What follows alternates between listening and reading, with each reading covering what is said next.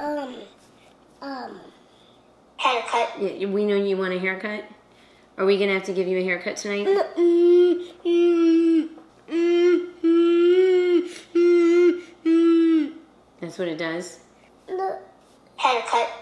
In today's video, we're gonna give Naomi a haircut. Now, I know there are a lot of kids that have Down syndrome or autism. There's a lot of sensory processing going on when it comes to touching your head, cutting your hair, all that fun stuff. And so we're gonna kind of push through it. Except she does like haircuts a little bit. Do you like haircuts? Uh, yeah. Uh, yeah, she's sitting on the couch and she's avoiding the camera right now, which is usually not normal for you. Come here.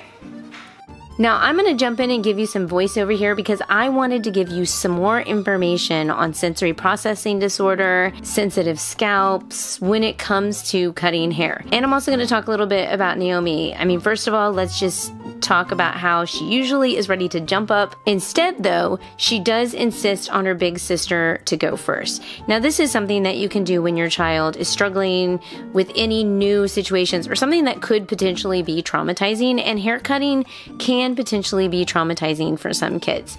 Getting a sibling involved or watching them get a haircut first can kind of mo- motivate them to do it. They see that it's safe, they see them laughing, they see them having fun, and they want to be involved. It's almost like childhood FOMO, you know, fear of missing out. They got to jump in and do it too. Now, this girl does actually have some sensory processing going on. She's a very sensitive, sensitive scalp. So, something that our occupational therapist taught me with her head is to do an exercise where you can do like little pools. Yes, yes. Mm, mm, Yeah.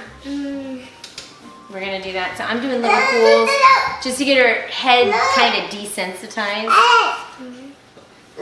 And also putting my hand on her head while I'm brushing or combing. Does, does that hurt as much? No. No, it kind of helps. It activates whatever nervous system stuff is going on on her skin up here. Because the, the closer you brush or the closer you pull, the less pressure it is on the hair follicles. Are you ready for your haircut? Yeah. You are. Okay, do you want me to finish brushing her hair? Uh, Yeah, okay. I don't have a spray bottle, by the way, guys. I'm sorry. We're gonna use like just um, a giganto washcloth. Now, usually Naomi is all about getting her hair cut. She's kind of a little bit obsessed about it. However, she is a little unpredictable when it comes to her actions. For example, she'll push me away, she'll wipe her eyes to get the hair out of her eyes. She looks up, she's moving. Okay, wait a second. I just explained like every single toddler and preschooler like I've ever known. Okay, does it hurt? No. Okay. So I'm kind of doing this, but I'm kind of pulling a little bit on her hair a little bit, just to kind of get the Can I those do this Even though I might not do. You want to do it? Okay, ready? I want to do it. You want to do it? No. I like to sing to her too. A B. Nope, it doesn't work right now. Twinkle, Twinkle, little star, How I wonder what you are. Every kid is unpredictable, especially how they move on the chair when they're getting their haircuts. So let's just make life a little bit easier and safer. And let's just pull out our secret James Bond weapon. It's not James Bond weapon. It's our iPad, aka let's watch CoComelon because she's obsessed with CoComelon. Now it does help to have someone hold it, hold the iPad for me, and uh, her sister right now totally fits the bill. Sometimes her brother will get involved, but we're going with sister today. I will have her move it around, or I'll kind of show her where to hold it so I can have Naomi move her head so I can cut at the right exact spot. And I also want to take my time. I'm not the best hair cutter in the world. Okay, it's just reality. I'm a perfectionist. I want it just right, and I take my time when I'm cutting hair. If you've never cut hair before, you may do the same thing. If you're a professional, then you know why are you watching this video? I, I don't know why you're watching this video. Let me know if you're a professional hair cutter and you're watching this video, because I would like. Well, maybe because Naomi's super cute. Okay, moving on. Now, in general, a sensitive scalp is pretty normal across the board. You're going to have all kids, 50 50. I don't know. There's some percentage out there. You know what? I should probably look that up. Okay, I just looked it up. So it actually says around 40 to 50% of the people in modern society have sensitive scalps, but a lot of that does have to do with dermatology and medical stuff. So I don't know if that really applies. But but the point is is that we we have sensitive scalps. Regardless if we have autism down syndrome or another disability like people just they have sensitive scalps okay? So let's kind of talk about it. When a child is put in a hair cutting situation and they have a sensitive scalp or they have autism or down syndrome or another disability it can be pretty intense all right the slow movement of the vibrating okay the buzzer. The vibrating buzzer on the boys on their neck and head the pulling the touching the brushing over every inch of their scalp and even the gentle but itchy hair cuttings that fall all around their face and neck. Okay, now, which quickly, just a side note, I knew someone who actually would take a vacuum cleaner.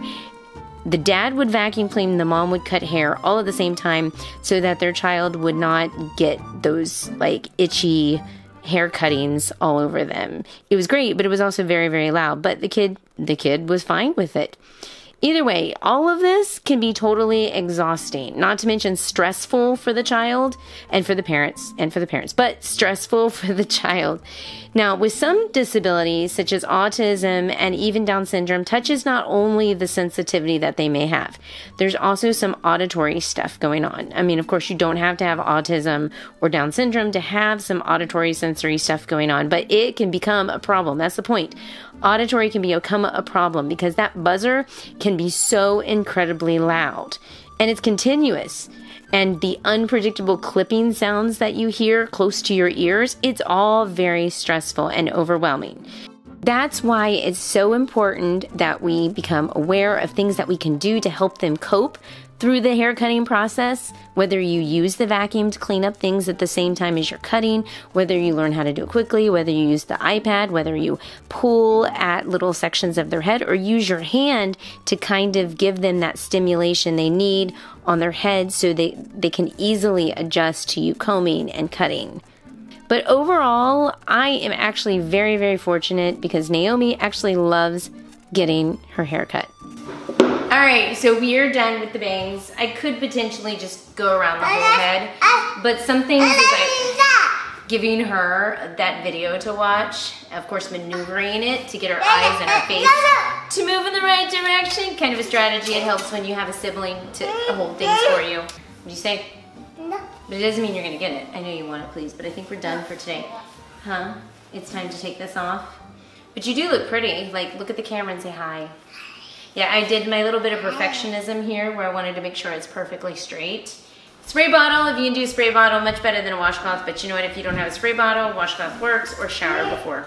I also notice, you know, bangs when they dry, move up. I kind of wanted her short. She looks cute when they're short. Oh, yeah, and I'm not gonna cut the rest. I'm gonna let this kind of grow out a little bit so we can do ponytails again. And it's really not that long. I like ponytails. I just want maybe the next, I don't know. We'll see how it goes the next one. Let me know. Do you like ponytails or, because when it gets long, it just gets everywhere, like in her food. And um, like right now, like we've got yogurt in her hair and dinner in her hair. We're gonna go straight to the bathtub and wash it because she's got little pieces of Like did, hair. like- Not just on the floor, but like on her face. Do you have some on your nose? Yeah, you have some on your nose. Okay. So we're just gonna say goodbye now. We're gonna finish up this video right now because I'm gonna go put her in the bathtub. What do you say? No. Yeah. Hopefully you get some tips with cutting hair. Sensory processing disorder is like a real thing. So now you see a bunch of your hair on the floor. What do you think about that, princess? Do you want to take off your cape, Supergirl? No, no, no. What? Say bye bye. Bye bye. Say bye bye. What? You want more? You want more haircut? Yeah. But we're all done. Do you just like haircuts because you watch videos or you want me to play with your hair? That's it. She wants me to play with your hair. So I'm going to sit here and comb her hair for a little bit. You want to tell me what you want? I just want to trim. You want more of a trim? You want me to cut more? My hair has been unmanageable. You- well, yeah, it has been unmanageable. Ah. Yeah. I want nothing. You want an updo? No. No. My hair has been manageable. No. Has no, your hair has been unmanageable sometimes. No. What? I want a new color. No. You want a new color? No. What color do you want your hair? No. Thank you guys for watching this video and I'm gonna go ahead and stick some videos in my face, but I will see you guys in my next video. Let me know if this was helpful and um, see you guys in the next video. Bye. Uh, yep, I'm, I'm gonna sweep now.